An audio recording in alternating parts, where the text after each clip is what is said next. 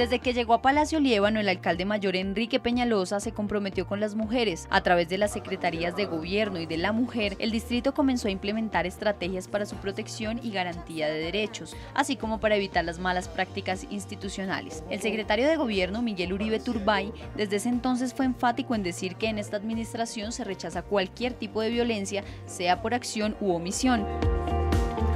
Con el fin de continuar este trabajo y seguir fortaleciendo las políticas de atención y prevención de los delitos contra las mujeres, esta semana el distrito dio inicio formal a una alianza con la Universidad Carlos III de Madrid, España, con el ánimo de conocer qué se ha hecho en el proceso de reparación a las mujeres víctimas de violencia sexual en el marco del conflicto armado, desde los testimonios de varias de ellas, quienes hoy residen en Bogotá. Iniciamos un proceso de investigación para tener un diagnóstico final, pero especialmente una ruta de atención a las mujeres víctimas en el marco de del conflicto armado con el propósito de por primera vez prestar una atención oportuna y diligente a estas mujeres. La Secretaría tiene que reconocer las necesidades de las mujeres, oír sus voces, invitarlas y por eso queremos eh, hacerles un llamado a todas ellas a que participen con nosotros en esos procesos de tal forma que nosotros podamos aprender de esas buenas prácticas, podamos construir conjuntamente y podamos hacer de la institución un lugar de confianza y de seguridad. Y se aplaude mucho que la alcaldía de la Secretaría de Gobierno empiece a entender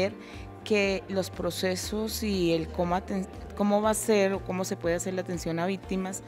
tiene que salir desde las voces de las víctimas. la idea es empezar una investigación que nos ayude a comprender más a fondo el fenómeno de la violencia sexual en el marco del conflicto armado y que para las instituciones es muy importante porque nos permite revisar los protocolos de atención. Es una oportunidad que debemos cogerla en ese momento y mostrar mostrar lo que pasó en el conflicto armado y no debemos dejar eh, a un lado eh, esas experiencias que nosotras llevamos en los hombros. Lo más importante de la investigación va a ser el proceso, no tanto los resultados. El proceso es un trabajo de campo en el que se va a contar con todos los actores implicados en la articulación de una política de reparación de estas características. Siempre la academia es un actor importante y siempre la academia es un aliado estratégico. En este momento lo que estamos haciendo es una importante alianza que nos permitirá evidenciar de qué manera las medidas de reparación han sido efectivas en la garantía de derechos para las víctimas. Es muy importante eh, poder eh, nosotros construir esta, esta ruta eh, metodológica desde nuestra visión como mujeres negras. Cada vez hemos fortalecido más las rutas de denuncia, esperamos que las mujeres que sean víctimas